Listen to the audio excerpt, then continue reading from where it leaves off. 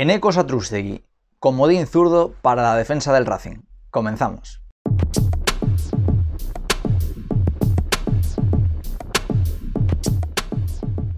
¿Qué tal? ¿Cómo estás? Antes de que veas el vídeo, necesito que me hagas un favor. Dale like al vídeo, suscríbete para que la comunidad pueda seguir creciendo y por último, déjame tu opinión.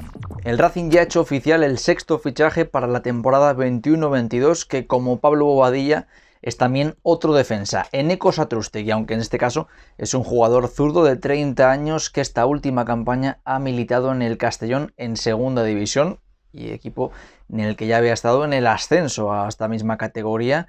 Y hablamos de un central zurdo que mide 1,85 m y que es navarro. En el caso de Bobadilla hablábamos de un central puramente dicho, un central diestro de la vieja usanza. Este también es bastante alto como, como Bobadilla, pero en el caso de Satrustegui es un poco más comodín. Quiero decir, eh, ha venido jugando en el Castellón en Segunda División B, jugaban con defensa de tres centrales y dos carrileros, bueno, pues este era uno de los centrales, probablemente sea la posición en la que más cómodo esté, según me cuentan.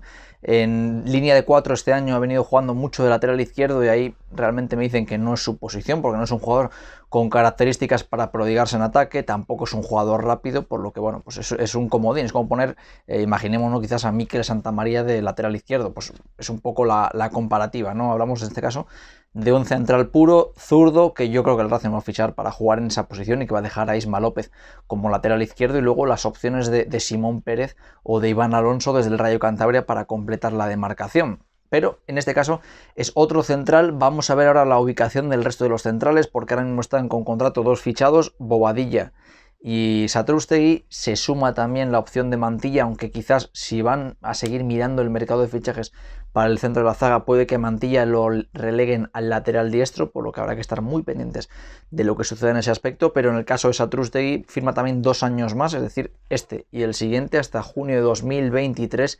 Y veremos a ver cuál puede ser su rendimiento. Tiene 30 años, en septiembre de este mismo mes de este mismo año, perdón, va a cumplir 31. Vamos a ver su adaptación a la competición y bueno, yo creo que todavía está en edad para poder. Y es un poco como el caso de Bobadilla, no hay que fijarse tanto, tanto en el último año porque es una categoría más, aunque evidentemente también puede tener su, su eco en esta misma campaña. Aunque ya os digo, la pasada temporada ha jugado mucho como lateral izquierdo, ha jugado 24 partidos. En el caso de Bobadilla jugó 29 y este año bajan un escaño, van a jugar en el Racing no van a continuar en sus respectivos clubes, pese a que van a competir en la misma categoría.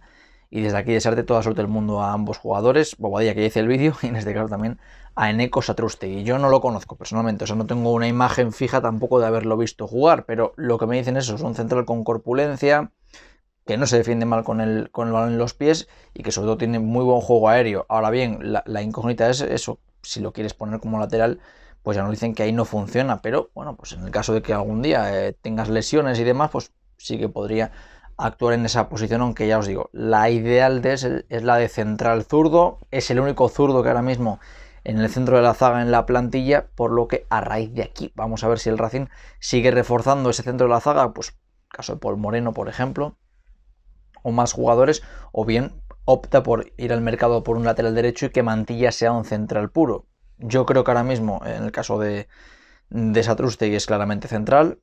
Os decía antes el tema del lateral izquierdo que lo va a cubrir con Isma López y luego pues, Iván Alonso es un fichaje que viene de jugar en Segunda División B muchos partidos en las Arenas de Guecho y que al ser un fichaje, pues oye, siempre parece que, para los entrenadores o para la gente que está parte con una vitola más que un cantreno, porque este año hay una gran diferencia, yo creo, entre la estructura del primer equipo, que va por un lado, y la estructura del Rayo Cantabria, que también va por el otro. Van a intentar tener dos plantillas lo más potentes posibles para conseguir sendos objetivos. El Rayo Cantabria poder mantener la categoría y el Racing poder optar al ascenso a segunda división. Yo ya os digo que creo que el Racing no está tirando la casa por la ventana a la hora de contratar jugadores, porque no creo que sean eh, jugadores de segunda división, quiero decir, que, que vayas con un presupuesto muy alto por delante, sino que está buscando, moviéndose en el mercado de la segunda división B de arriba, pues como uno más probablemente. O sea, yo creo que el Deport va a tener mejor plantilla, tiene mejor presupuesto. Vamos a ver el Logroñés qué va a hacer en, cuanto a su plantilla, porque al ser un recién descendido, pues siempre parece que parte con una vitola de darte un plus más, pero el recién se está moviendo ahí, pero yo creo que no está yendo ni mucho menos a lo alto, sino que está yendo pues a, un tipo medio.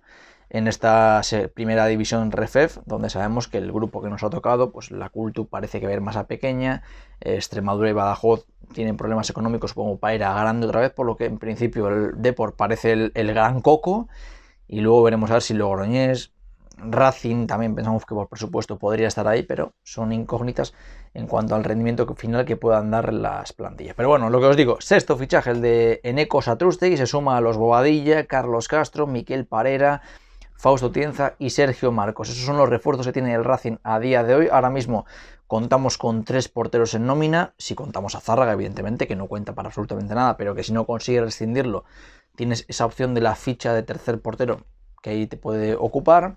Un lateral derecho puro como es Ceballos, luego centrales Mantilla, que puede actuar como, lateral Satrustegui y Bobadilla, en la izquierda Isma López con las opciones del filial que os he contado previamente, en el centro del campo, tres pivotes defensivos, Íñigo, para mí es el que debe partir con la vítula titular porque es el que mejor año ha realizado, Fausto Tienza y luego Villapalos, que es una gran incógnita.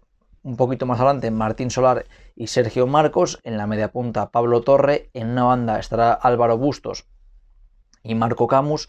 En la otra, Patrick Soco. Y arriba, ahora mismo están Cedric y Carlos Castro. Esa es la plantilla del Racing a día de hoy. Todavía sabemos que a Juan Gutiérrez lo quieren convencer para que finalmente se quede en el Rayo Cantabria.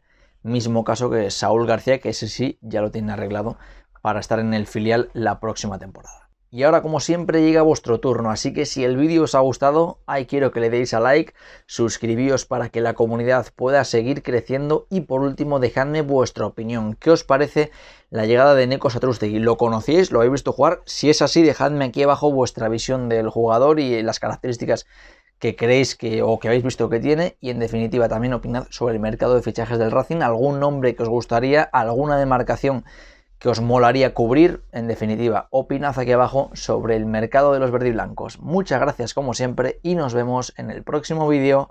Chao, chao.